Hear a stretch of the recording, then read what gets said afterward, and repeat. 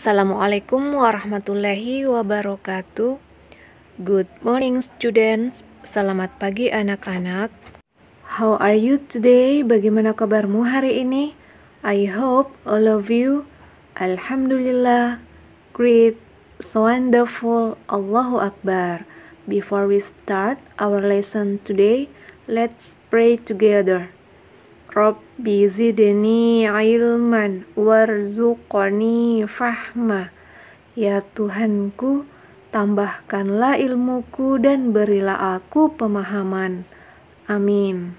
Are you ready to study? Let's start it. Nah, sekarang kita sudah masuk di lesson 10, pelajaran 10. Let's cook. Ayo kita memasak. Adapun materi yang akan kita bahas di bab 10 ini yaitu yang pertama using quantifiers, yang kedua giving instructions. Nah, kita akan membahas bersama tentang using quantifiers yaitu a lot, a few, a little. Kita masuk di part A, bagian A listening. Listen to and repeat after your teacher. Dengarkan dan ulangi setelah gurumu. Dengarkan lalu kalian ulangi ya. Picture 1, gambar pertama, botol yang terisi penuh dengan susu. Yang kedua, sebuah botol yang isinya setengah botol susu. Dan yang ketiga adalah botol kosong yang tidak ada isinya. We use a little for uncountable nouns. Jadi kita akan menggunakan kata a little untuk benda yang tidak bisa dihitung. Picture 1. There is a lot of milk in the bottle. There is a lot of milk in the bottle. Artinya, ada banyak susu di dalam botol. A lot artinya banyak. Picture 2. Gambar kedua, there is a little milk in the bottle. There is a little milk in the bottle. Artinya, ada sedikit susu di dalam botol. A little artinya sedikit. The third picture, gambar ketiga, there isn't any milk in the bottle. There isn't any milk in the bottle. Artinya, tidak ada susu di dalam botol. Any artinya ada.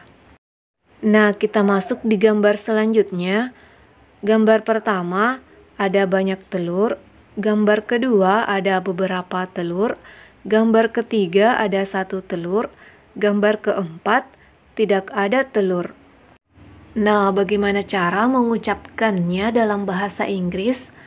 Gambar pertama, there are a lot of eggs. There are a lot of eggs. Artinya ada banyak telur.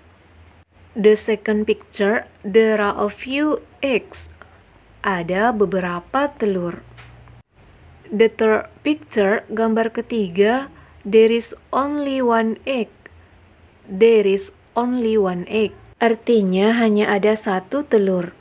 The last picture, there aren't any egg. There aren't any egg. Tidak ada telur. So, we use a few for countable nouns. Jadi kita menggunakan kata a few untuk benda yang bisa dihitung. And we can use a lot of for countable and uncountable nouns. Jadi kita meng bisa menggunakan a lot of untuk benda yang bisa dihitung dan tidak bisa dihitung. Adapun contoh benda yang bisa dihitung adalah buku, pulpen. Contoh benda yang tidak bisa dihitung adalah air. Right now we are continue about quantifier. Do you know what is quantifier? Apa itu quantifier? Nah, a quantifier is a word that express a quantity. Jadi, quantifier adalah kata yang berfungsi untuk menyatakan jumlah. Quantifier digunakan untuk yang pertama benda yang tidak dapat dihitung atau uncountable nouns. Yang kedua benda yang dapat dihitung atau countable noun. Seperti apa contohnya? Yuk kita simak contoh berikut ini. Untuk contoh benda yang tidak dapat dihitung. Yang pertama subjek, there is some cheese in the fridge. Ada beberapa keju di dalam lemari es. The next for example countable noun. Contoh benda yang bisa dihitung kalimatnya adalah There are a lot of sandwiches on his plate. There are a lot of sandwiches on his plate. Artinya ada banyak roti berlapis di piringnya. Now your task, tugas Ananda di rumah yaitu buka bukunya halaman 86 sampai 87. Tugas pertama adalah Lengkapi kalimat dengan memberikan jawaban yang ada di kotak. Lihat gambar di bawahnya sebagai petunjuk. Tugas kedua adalah perhatikan pada gambar berikut di latihannya, terus bandingkan dengan menggunakan quantifiers. I think that is all for our lesson today. Pelajaran kita hari ini cukup sampai di sini. Thank you for attention. Thank you for listening me. Wassalamualaikum warahmatullahi wabarakatuh.